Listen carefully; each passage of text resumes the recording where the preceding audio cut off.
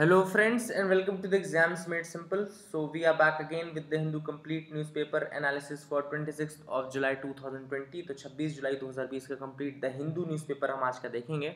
Before we start those want to join the U P C films revision series they can join from the links given the description comment section below and let start with the question first आज के question देख लें पहला question है Chattogram and Mongla port sometime seen in news recently is located in which of the following आपको बताना है कि चट्टोग्राम एंड मोंगला पोर्ट्स इनमें से कहाँ लोकेटेड है? Option are A Orissa B Karnataka C West Bengal या D none of the above तो चट्टोग्राम और मोंगला पोर्ट्स इनमें से कहाँ लोकेटेड है? आपको बताना था। The correct answer for this will be D none of the above क्यों नन ऑफ़ दी अबव होगा? क्योंकि ये uh, जो पोर्ट्स हैं ये आपके लोकेटेड हैं बांग्लादेश में ना कि ये इंडियन स्टेट्स में नहीं लोकेटेड है। ये आपको याद रखना this this was something which was very very important I hope you got clarity regarding that आपको समझ में आ गया होगा। ठीक है तो चट्टोग्राम एंड मंगला पोर्ट्स हैं। बेसिकली वो आ, अभी recently union minister of shipping के जो मिनिस्टर हैं तो उन्होंने Kolkata to Agartala through Chattogram port of Bangladesh in a virtual ceremony इन्होंने स्टार्ट किया है कोलकाता टू अगरतला का। ठीक है ना? So Chattogram and Mongla ports का यूज़ करना है। For India's transit cargo through Bangladesh तो इंडिया का जो ट्रांजिट कार्गो है, वो बांग्लादेश के थ्रू जा सके, इस कारण से इसको किया गया। So this is something very very important ठीक है ना? सेकेंड क्वेश्चन अगर हम देखें तो सेकंड क्वेश्चन है which of the following places given below is not associated with Gautam Buddha in India okay तो गौतम बुद्ध इन इंडिया के साथ कौन सा इनमें से जगह लोकेटेड नहीं है? मतलब कि एसोसिएटेड नहीं option are one is Shravasti second is Sarnath third is Lumbini या फोर्थ कुशीनगर तो इनमें से कौन सा लोकेटेड है? आपको करेक्ट कोड बताना है। Option are A all except three B one and four only C all of the above and D none of them tricky question है ये। इसका करेक्ट आंसर है ए ऑल एक्सेप्ट थ्री अब इसका क्यों ये आंसर है? क्योंकि जो ये है, यानी कि लुम्बिनी जो है, ये इंडिया में लोकेटेड ही नहीं और क्वेश्चन क्या है? गौतम बुद्धा इन इंडिया तो लोकेटेड एसोसिएटेड लुम्बिनी भी है उनसे। उनका जन्म ही वहीं हुआ था, लेकिन ये इंडिया में लोकेटेड नहीं है, इसलिए A will be the answer okay तो इसको आप याद रखेगा this is basically in Nepal इस कारण से इसको आप कह सकते हैं कि आंसर होगा, ठीक है ना? नाउ क्वेश्चन नंबर थ्री अगर हम देखा जाए तो अगर से गौतम बुद्ध के बारे में आपको पता है ना कि he was royal couple from Kapilavastu Siddhartha उनका पहले का नाम था। और गौतम बुद्ध बाद में उनको जब उन्होंने देखा सफरिंग देखी लोगों की तो उन्होंने इस तरह से फिर वो मतलब कि निर्वाणा प्राप्त करने के लिए निकल गए। ठीक है तो ये सारी चीज़ें बाकी आपको बुद्धिज्म के बारे में पता है। Lumbini in Nepal is not in India is believe to the birth place of Gautam Buddha. Bodh Gaya जो दूसरा ऑप्शन था उसमें, वो बिहार में believe to have attend enlightenment under the Mahabodhi tree and पहला जो सरमन था स्पीच था, वो सारनाथ में दिया था। And Kushinagar, Kushinara is the place where Gautam Buddha finally breath his last मतलब जो लास्ट टाइम था उन्होंने कुशीनगरा, वहाँ पे कुशीना, कुशीनारा बोलते हैं उसको, वहाँ पे उन्होंने डिसाइड किया। ठीक है ना? श्रावस्ती, राजगीर, संकशा, वैशाली, ये सब भी उनसे क्लोजली एसोसिएटेड है। जो ये लिखा हुआ है ना, ये Shravasti, Rajgir, Sankasha and Vaishali these were associated with Gautam Buddha तो ये भी आप याद रख सकते हैं। ठीक है ना? Third question is Asian Asia EDGE initiative तो आपको बताना है कि एशिया एज इनिशिएटिव जो न्यूज़ में रहता है, वो किससे लोकेट एसोसिएटेड है?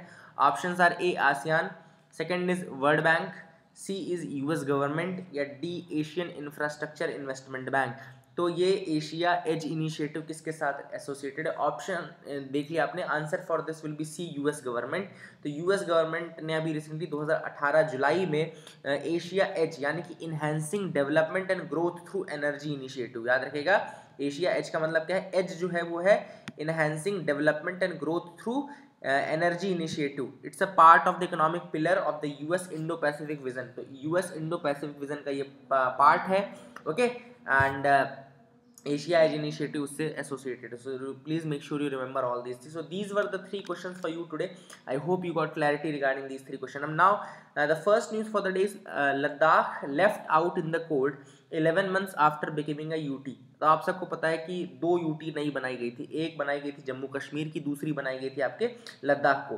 तो अब हो क्या रहा है बेसिकली हो ये रहा है कि आपका जो uh, लद्दाख है, वहाँ बहुत सारे प्रॉब्लम शुरू हो गए प्रॉब्लम्स कैसे शुरू हो गए हैं कि वहाँ पे जो डिपार्टमेंट है दे आर अंडर स्टाफ यहाँ देखो लिखा हुआ है कि एक तो हाई एल्टीट्यूड डिस्ट्रिक्ट है मतलब वहाँ पे टेरिटरी है यहाँ पे यूटी है आपकी लद्दाख की। And there is a minimal staff functioning from makeshift accommodation no recruitment agency to fill gazetted post no formal bank and a dispute over its capital तो ये चार मेजर इश्यूज़ हैं जो कि आपको याद रखने हैं। ये आप याद रखिएगा अगर आपसे क्वेश्चन पूछता है कि has the condition of Ladakh और जम्मू कश्मीर वर्सेंड और improved after becoming an union territory तो आप वहाँ पे ये सारी चीज़ें मेंशन कर सकते हो, ठीक है ना? तो लद्दाख के अगर प्रॉब्लम्स देखें तो वहाँ पे एक तो स्टाफ की कमी है, दूसरा वहाँ पे no recruitment agencies they are basically to fill the gap of the gazetted post no formal bank and a dispute over the capital तो ये मेजर इशूज हैं जो वहाँ पे ऑलरेडी आ रहे हैं, ठीक है ना? इसके अलावा देखो रिक्रूटमेंट क्यों इंस्टॉल्ड है क्योंकि वहाँ पे डिमांड चल रही है कि जैसे एक पीएससी जैसा होता है ना पीएससी जैसी पब्लिक सर्विस कमीशन जैसी एक बॉडी यूटी के लिए भी चाहिए।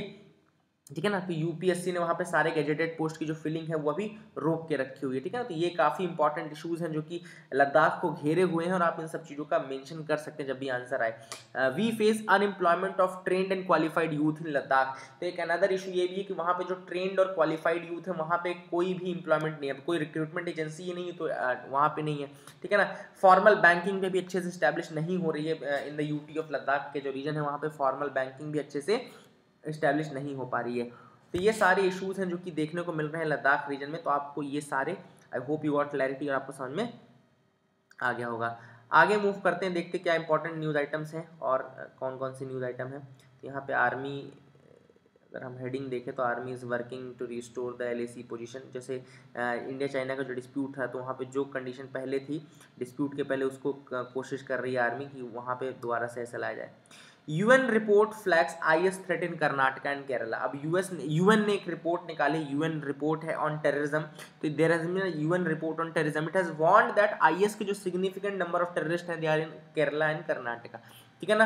तो ये वाला रीजन में काफ़ी ज़्यादा सिग्निफिकेंट टेररिज्म आपको अलकायदा और जो आई एस आई एस है, वहाँ से देखने को मिल सकता है, ठीक है ना? अब आई एस आई एस को ही आई एस आई एल बोलते हैं, ये Islamic State of Levant Levant जो प्रोविंस है, वहाँ से इनको दाइश भी कहा जाता है। याद रखिएगा this is a important term अगर आपसे कभी कोई पूछ ले कि व्हाट इज़ दिस दाइश ऐसा पूछा भी जा सकता है, देखो, ठीक है ना? ये लिखा ना D A E S H तो ये जो लिखा हुआ है D A E S H ये ये दाइश जो है बेसिकली ये वही होता है। आई एस आई एस को ही आई एस आई एल को ही कहा जाता है दाइश ठीक है ना? एंड ये इन्होंने क्लेम किया है अभी recently that they have established a new province in India okay established a new province in India and it is the first of its kind announcement पहले खुरासन जो था खुरासन के बाद ये बहुत बड़ा एक अनाउंसमेंट है। खुरासन क्या होता था कि जैसे ये आपका अफ़गानिस्तान हो गया, ये आपका पाकिस्तान हो गया और ये जम्मू कश्मीर वाला जो रीजन है तो ये उसको बोलते थे ये पूरा खुरासन प्रोविंस उनका है। ठीक है ना? तो वो जैसे अपना इंडिया में एक जो राइटिस्ट विंग है, वो अखंड भारत की बात करता है। वैसे ही जो आई वाले हैं, वो आपके खुरासन की बात करते हैं और उसमें फिर पाकिस्तान, अफ़गानिस्तान और इधर इंडिया की प्रोविंसेस को भी वो क्लेम करते हैं।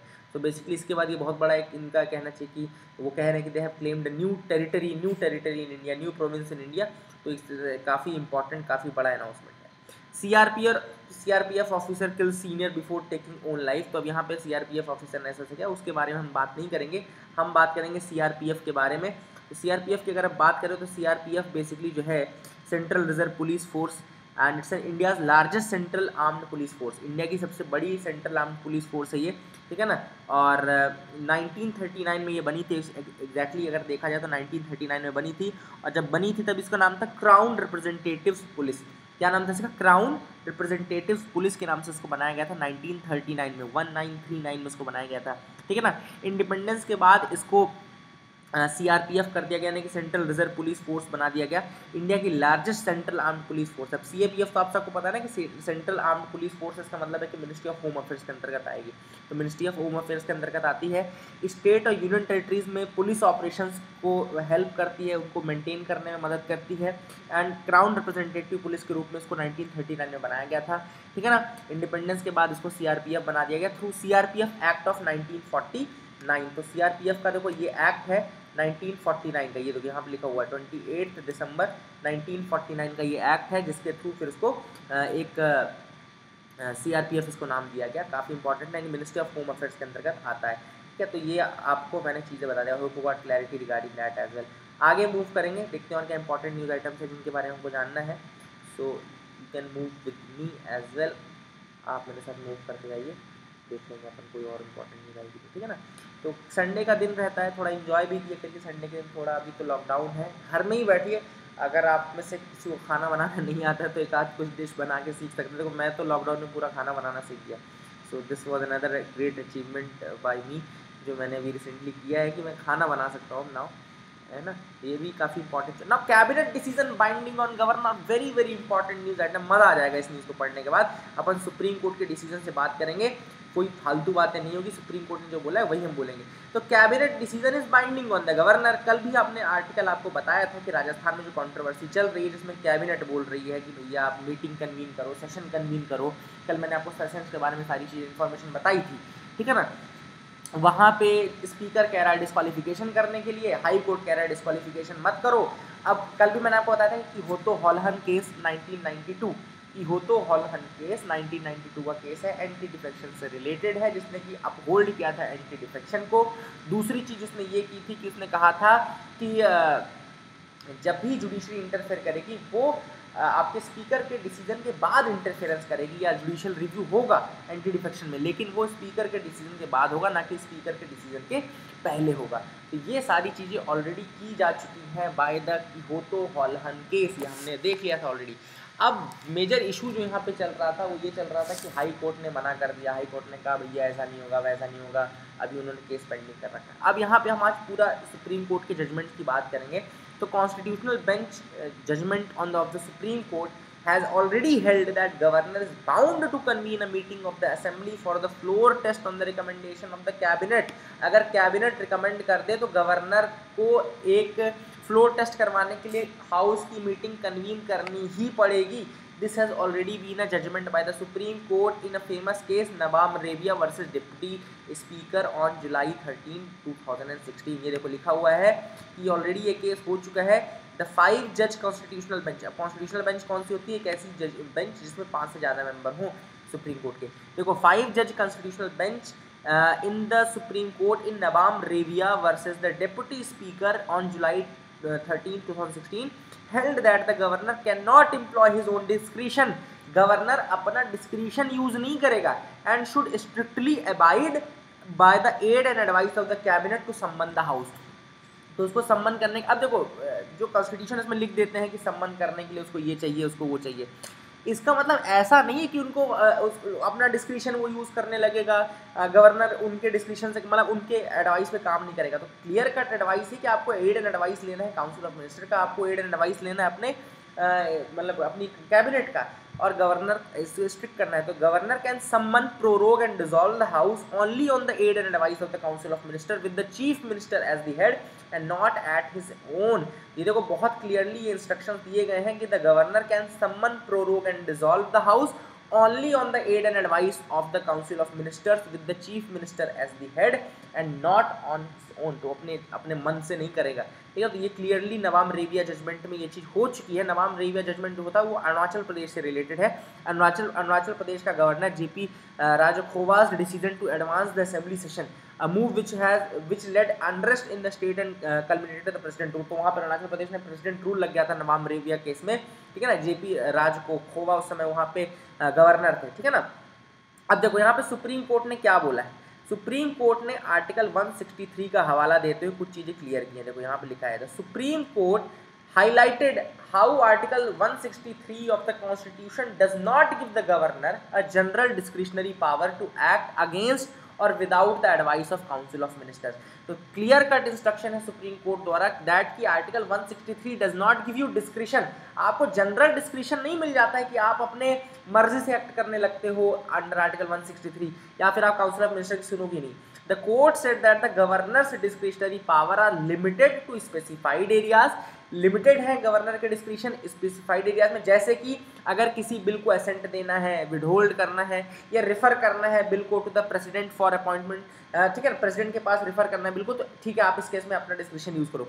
अगर किसी चीफ मिनिस्टर का अपॉइंटमेंट करना है या डिस्मिसल डिसमिसल करना है गवर्नमेंट का, जिसने अपना कॉन्फिडेंस लूज कर दिया है, ठीक है ना? ठीक है ना? तो ये सारी चीज़ें जो बेसिकली है, ऐसे ही केसेस में आप डिस्क्रिप्शन यूज़ कर सकते हो। अगर किसी बिल को आपको मतलब कि होल्ड करके रखना है फॉर प्रेसिडेंट्स अप्रूवल तो आप अपना डिस्क्रिप्शन यूज़ करो। अपॉइंटमेंट करना है चीफ मिनिस्टर का, आप अपना डिस्क्रिप्शन यूज़ करो। डिसमिसल करना है गवर्नमेंट का, जो कॉन्फिडेंस लूज कर चुकी है, बट क्विट नहीं कर रही है। तो ऐसे पार्टी को डिसमिस करने में भी आपका डिस्क्रिप्शन है। लेकिन अब कहीं नॉर्मल एरिया, जो वर्किंग के एरियाज़ हैं, आए तो वहाँ पे आपका डिस्क्रिप्शन लिमिटेड है। और लिमिटेड एरिया में भी आपको जो चॉइस ऐसा नहीं कि आर्बिट्ररी नहीं है आर्बिट्री या फैंसीफुल डिस्क्रिप्शन आप वैसे भी नहीं, अगर आपका डिस्क्रिप्शन है भी तो भी आर्बिट्री और फैंसीफुल डिस्क्रिप्शन आप नहीं कर सकते। तो अब ये सारी चीज़ें सुप्रीम कोर्ट ने ऑलरेडी क्लियर की हुई हैं।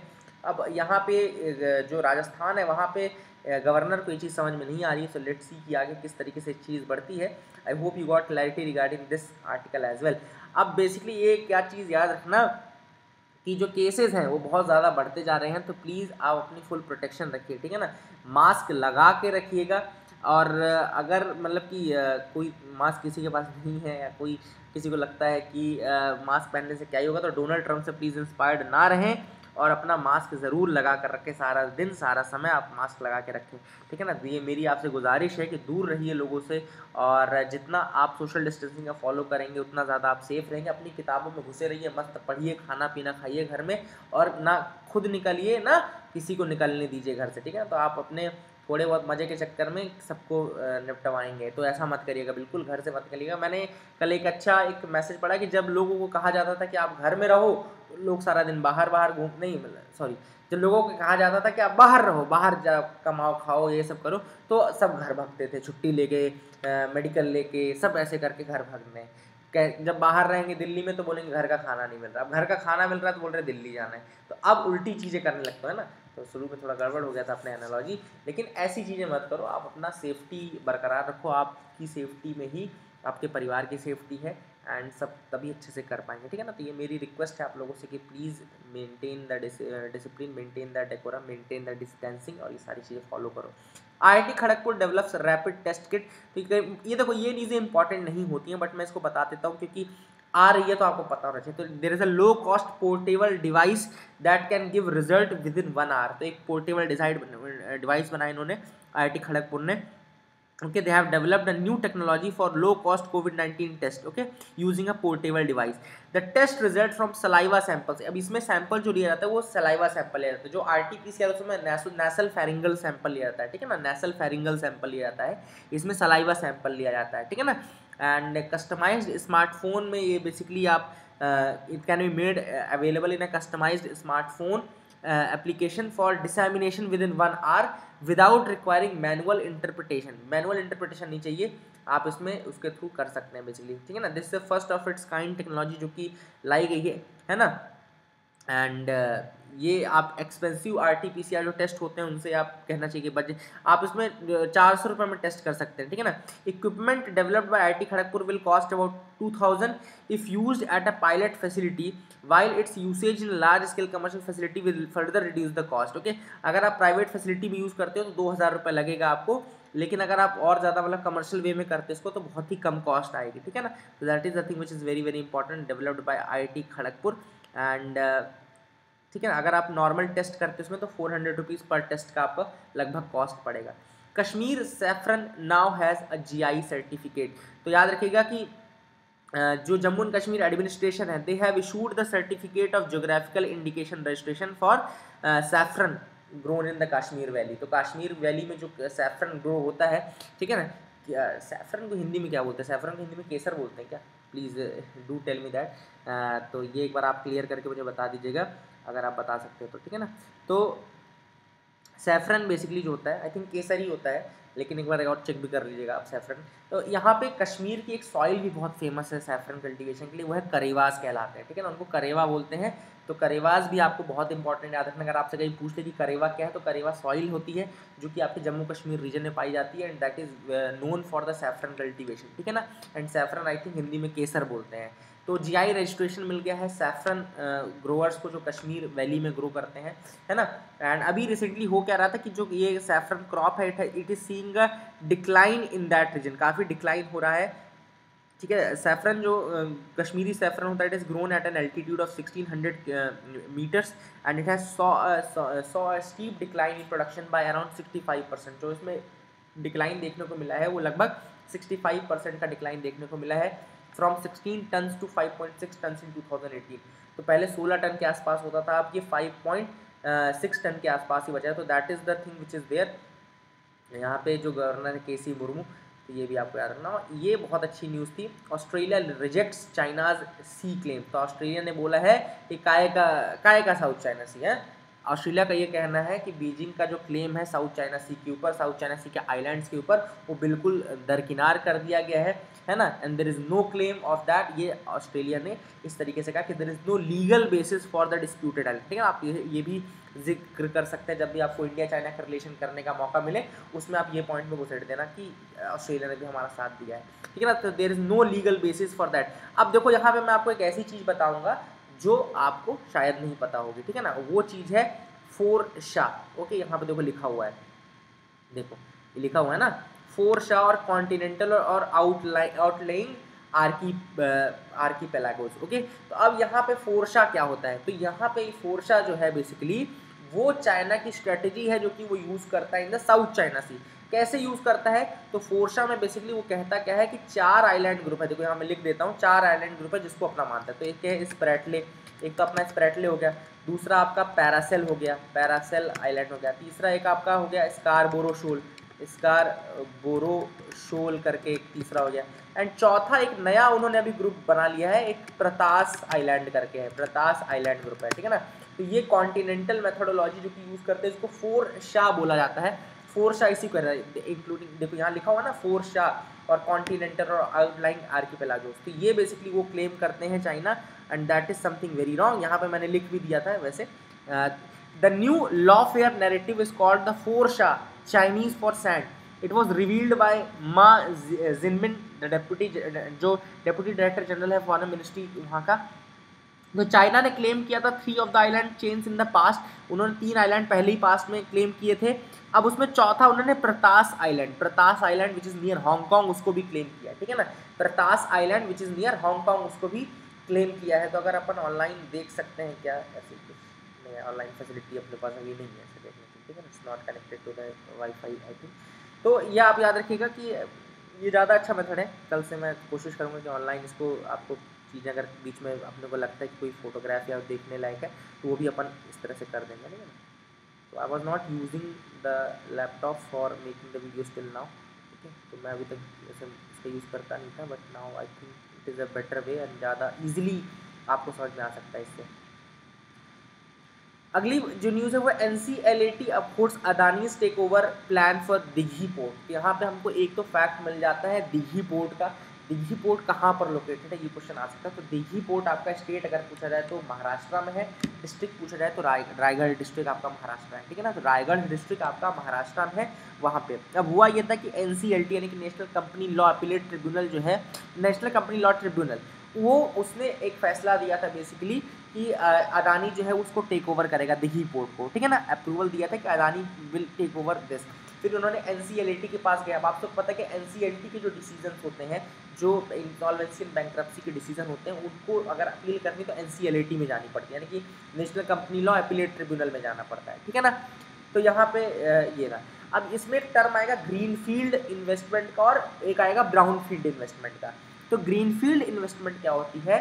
अगर आप कोई नई प्रोडक्शन फैसिलिटी बना रहे हो in a foreign country if you are building a new production facility in a foreign country मतलब कि when you are doing investment in manufacturing office और other physical company related structure और a group of structure in an area where no previous facility exist अगर कोई previous facility exist नहीं करती है and you are making a new production facility there तो वो आपका ग्रीन फ़ील्ड इन्वेस्टमेंट हो जाता है। लेकिन अगर आप इन्वेस्टमेंट कर रहे हो but there is already a production activity facility there there is already a production facility available और आप उसी का यूज़ कर रहे हो for doing the investment in all तो फिर वो आपका ब्राउन फ़ील्ड इन्वेस्टमेंट कहलाता है, ठीक है ना? तो ये डिफरेंस होता है ग्रीन फ़ील्ड इन्वेस्टमेंट में और ब्राउन फ़ील्ड इन्वेस्टमेंट में। ग्रीन फ़ील्ड इन्वेस्टमेंट में आपको प्रोडक्शन फैसिलिटी नहीं बनानी पड़ती है। ब्राउन फ़ील्ड इन्वेस्टमेंट में आप जो एग्जिस्टिंग प्रोडक्शन फैसिलिटी है उसका यूज़ करते हो, ठीक है ना? याद रखेगा अब यहाँ पे बात चल गई है एनसीएलटी की इतनी ज़्यादा तो N C national company law appellate tribunal की चल गई है। तो ये याद रखिएगा कि it was constituted under section 410 of the companies act 2013 N जो है, वो 410 सेक्शन कंपनीज़ एक्ट 2013 का उसमें ये था। तो एन के जो डिसीज़न होते हैं ना एनसीएलटी के जो डिसीज़न होते हैं, उसकी अपील सुनने का केस कर, काम करती है। It hears the appeal against the orders of NCLT under section 61 of the insolvency bankruptcy code 2016 तो इंसॉल्वेंसी बैंक्रप्सी कोड 2016 का आया था उसके सेक्शन 61 के अकॉर्डिंग एनसीएलटी जो है वो एनसीएलटी के डिसीजंस की वो सुनेगी। क्या सुनेगी? अपील सुनेगी। ठीक है ना? तो ये आप याद रख सकते हैं। आ, फिर इसके अलावा क्या है? कंपोजिशन इसका। द प्रेसिडेंट जो प्रेसिडेंट होता है ट्रिब्यूनल का and the chairperson and judicial members of the appellate tribunal shall be appointed after consultation with the chief justice of India तो इस ट्रिब्यूनल के जो भी चेयरपर्सन जुडिशियल मेंबर या uh, इसके जो प्रेसिडेंट होंगे चेयरपर्सन होंगे ट्रिब्यूनल के जो जुडिशियल मेंबर्स होंगे इनको आप तभी अपॉइंट कर सकते हो with the due consultation of the chief justice of India ठीक है ना? इसकी जो सिलेक्शन कमेटी होगी उसमें चीफ जस्टिस ऑफ़ इंडिया होगा और इसके नॉमिनीज होंगे as the chairperson a senior जज ऑफ़ द सुप्रीम कोर्ट और a chief justice of high court उसका मेंबर होगा. And secretary of the ministry of corporate affairs member होगा। Secretary of the ministry of law and justice उसका एक member होगा। Secretary in the department of financial services in the ministry of finance उसका member होगा। ठीक है ना? तो ये आपको याद रखने रखने ये सारी चीज़ें कि ये एक कमेटी होती है जो कि सेलेक्ट करती है फिर उनके मेंबर्स को इन सब चीज़ों को। ठीक है ना? India and UK affirm commitment on F अब यार, ये भी न्यूज़ है, देखो इंडिया और यूके ने बोला है कि भैया FTA तो होके ही रहेगा। इंडिया और यूके ने बोला है कि कमिटमेंट किया है कि हम एफ़ करके रहेंगे। अब FTA होता क्या है?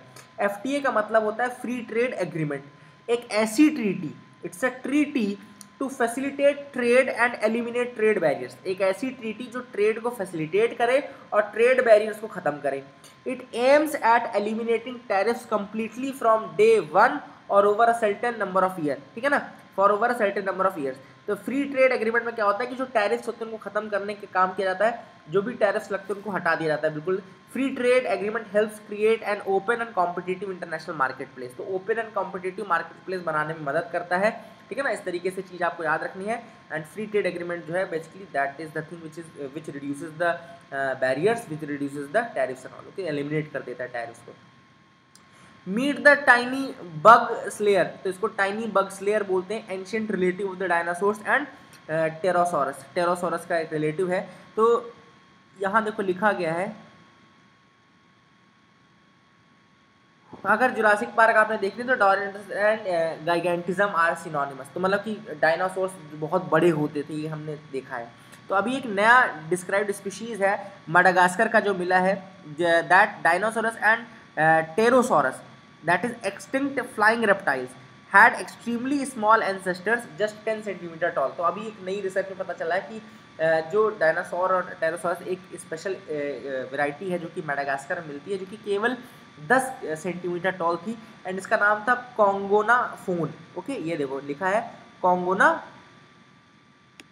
देखो ये लिखा हुआ है कॉन्गोना फ़ोन है ना? कॉन्गोना फ़ोन कैली तो कॉन्गोना फ़ोन कैली जो था, अगर आपसे कोई पूछा जाए कि कॉन्गोना फ़ोन कैली क्या है तो कॉन्गोना फ़ोन कैली जो है आपका मेडागास्कर में पाई जाने वाली एक स्पीशीज़ है, जो कि टेरोसोरस और डायनासोरस का इंसेस्टर आप कह सकते हो।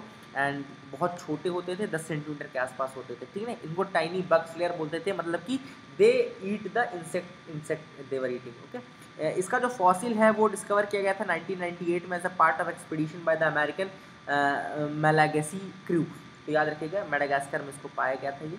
ये भी आपको बता दिया मैंने। Hope you clarity regarding that as well आगे, आज के तो देखो why covid cases are surging Kerala important नहीं है सेरो सर्वेज इन ये। इस SARS CoV two a latent virus which can occur which can reoccur तो क्या SARS CoV two latent virus है जो कि रीअकर कर सकता है? तो ever since the reinfection term अभी बेसिकली री इन्फेक्शन की काफ़ी ज़्यादा बातचीत होने लगी कि री इन्फेक्शन फिर से जिनको कोविड ठीक हो गया था, उनको दोबारा इमर्ज करने लगे हैं। दोबारा आने लगा है, ठीक है ना? तो लेटेंट इन्फेक्शन क्या होता है? तो latent infection is a infection when the virus in the body is dormant and does not replicate within the host, ठीक है ना? It however possesses the capacity to be reactivated at some point तो latent virus एक ऐसा जो at a moment वो ज़रूर dormant हो जाएगा, लेकिन हो सकता है कुछ दिनों के बाद दोबारा से वो पोटेंट हो जाए, दोबारा से रीएक्टिवेट हो जाए at some point of time ठीक है ना? एंड ये डिसीज़ को बढ़ा देता है। तो एग्ज़ाम्पल इसका हर्पीज सिंप्लेक्स वायरस है, ठीक है? हर्पीज एंड इसके अलावा वेरीसेला जॉस्टर वायरस हो गया एचआईवी हो गया एपस्टीन बार वायरस हो गया ह्यूमन हर्पीज वायरस फोर बोलते हैं इसको and cyto mega megalo virus cytomegalovirus तो ये नाम याद रखिएगा herpes varicella zoster H Epstein Barr ये सारे वायरस जो हैं वो लेटेंट वायरस की कैटेगरी में आते हैं। वायरसेस दो कैटेगरी में होते हैं क्रॉनिक और दूसरे एक्यूट तो chronic virus will infect its host for extended period of time often through the lifetime of the host. An acute infecting virus, such as influenza and rotavirus ये क्या करते हैं? Is clear from the body after few days और weeks chronic viruses जो होते हैं, वो latency में चले जाते हैं। क्यूट तो क्या होता है? कम टाइम पीरियड के लिए होते हैं। जो क्रॉनिक वायरसेस होते हैं, वो ज़्यादा टाइम पीरियड के लिए इफ़ेक्ट करते हैं एक्सटेंडेड पीरियड ऑफ़ टाइम के लिए, फिर डॉर्मेंट हो जाते हैं, लेकिन बाद में वो लेटेंसी के लिए ज़्यादा प्रोन रहते हैं। जो क्रॉनिक वायरसेज हैं they are more prone to latency उनके ज़्यादा वो लेटेंसी शो करते हैं। तो that is it for the day friends I hope you like our video please keep loving us keep sharing us and आप, आपको पसंद आया होगा न्यूज़ एनालिसिस आज का तो thank you and have a nice day